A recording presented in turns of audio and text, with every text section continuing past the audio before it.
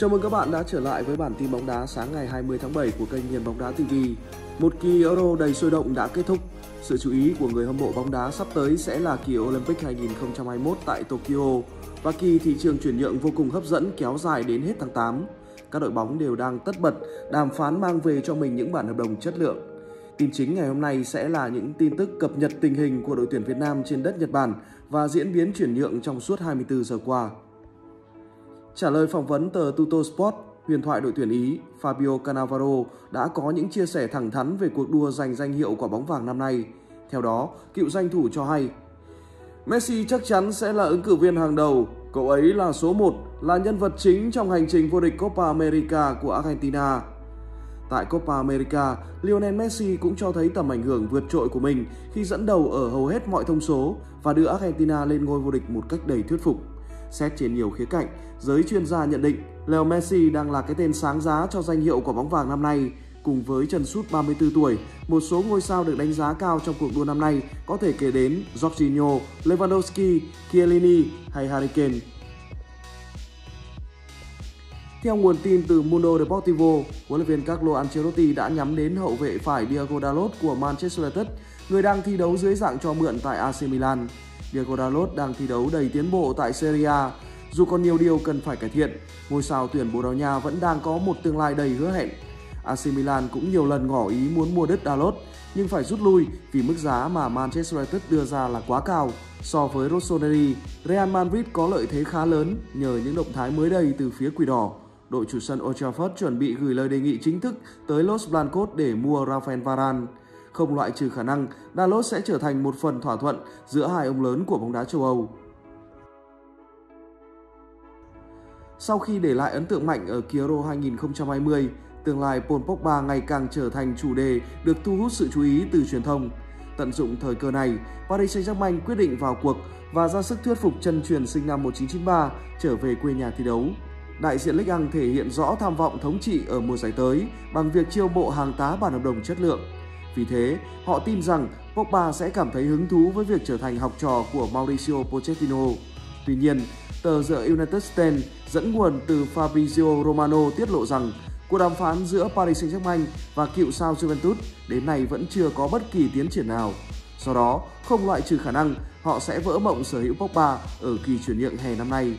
Được biết, phía Manchester United cũng đang đánh giá rất cao tầm quan trọng của ngôi sao 28 tuổi Mùa giải sắp tới, nhiều khả năng họ sẽ chuyển đội hình 4-2-3-1, thường thấy sang sơ đồ 4-3-3 để khai thác tối đa khả năng sáng tạo của cả Pogba lẫn Bruno Fernandes. Liverpool được cho là đã đạt được rất ít kết quả trong các cuộc thảo luận về hợp đồng mới cho tiền vệ Jordan Henderson. Tuyển thủ người Anh đã trải qua những kỳ tích huyền thoại tại sân Anfield anh là thủ lĩnh của gã khổng lồ vùng Merseyside trong hành trình giành chức vô địch Premier League và Champions League trong những năm gần đây. Tuy nhiên, theo The Athletic, Liverpool có thể sẵn sàng lắng nghe những lời đề nghị chuyển nhượng dành cho Henderson nếu họ tiếp tục không đạt được những kết quả khả thi trong việc đàm phán hợp đồng mới với đội trưởng câu lạc bộ. Tờ báo uy tín của nước Anh tuyên bố rằng việc tiếp tục đàm phán với Henderson và đại diện của anh không được giám đốc thể thao Michael Edwards của Liverpool coi là mục tiêu ưu tiên. Bất chấp việc Henderson còn 2 năm trong hợp đồng, Liverpool vẫn cảnh giác về việc mất một cầu thủ quan trọng khác theo dạng chuyển nhượng tự do sau sự ra đi của Jorginho Wijnaldum gần đây đến Paris Saint-Germain. Mùa giải 2020-2021 không phải là một năm quá thành công với Timo Werner khi tiền đạo người Đức thường được nhớ đến với những pha bỏ lỡ cơ hội hơn là ghi bàn. Ngay trong mùa giải đầu tiên ở đội bóng mới, Werner đã đóng vai trò trụ cột trên hàng công. Tiền đạo khoác áo số 11 là người ghi nhiều bàn thắng nhất Chelsea mùa giải trước với 11 pha lập công trên mọi mặt trận. Tuy nhiên, một thông tin vô cùng bất ngờ vừa được Sky Japani đăng tải, đó là đội chủ sân Stamford Bridge đang lên kế hoạch bán ngôi sao người Đức ngay trong kỳ chuyển nhượng mùa hè năm nay. Giám đốc điều hành của Chelsea, Marina Granovskaya, được cho là đang tìm kiếm một đội bóng sẵn sàng mua Werner.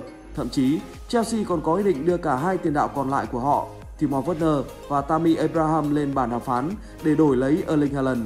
Nếu không mua được Haaland, đội bóng Tây London có thể chuyển hướng sang Robert Lewandowski và Harry Kane.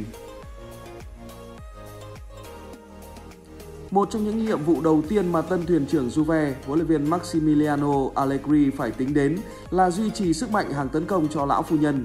khi chân sút trụ cột Cristiano Ronaldo đã 36 tuổi và anh cũng không có ý định gia hạn hợp đồng với đại diện Serie A.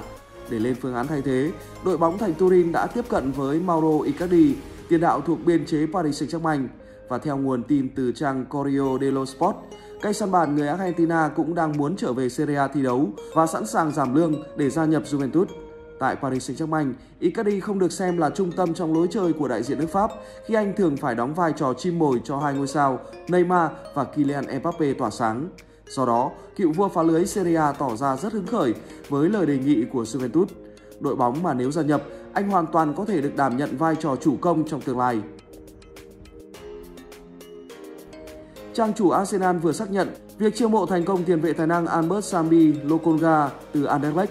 Cầu thủ người Bỉ cập bến Emirates trong một thương vụ trị giá khoảng 17,5 triệu euro cộng 4,5 triệu euro phụ phí. Tại đây, anh sẽ khoác lên mình chiếc áo số 23 và ký vào bản hợp đồng có thời hạn đến tháng 6 năm 2026. Với nỗ lực tăng cường chất lượng khu trung tuyến, pháo thủ đã nhanh chóng đưa Lokonga vào tầm ngắm. Được biết, tiền vệ này gia nhập hệ thống đào tạo trẻ Anderlecht khi chỉ mới 15 tuổi năm 2014 và bắt đầu hành trình trở thành cầu thủ chuyên nghiệp từ năm 2017. Sự hiện diện của Lokonga tại Emirates được xem như phương án thay thế cho Granit Xhaka, ngôi sao đang đàm phán để chuẩn bị gia nhập AS Roma. Như vậy, sau Nuno Tavares, tuyển thủ người Bỉ là tân binh thứ hai của Arsenal ở kỳ chuyển nhượng hè này.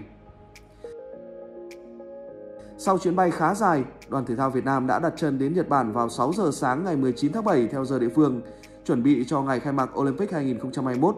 Các vận động viên Việt Nam giữ tâm lý thoải mái, không quá mệt mỏi.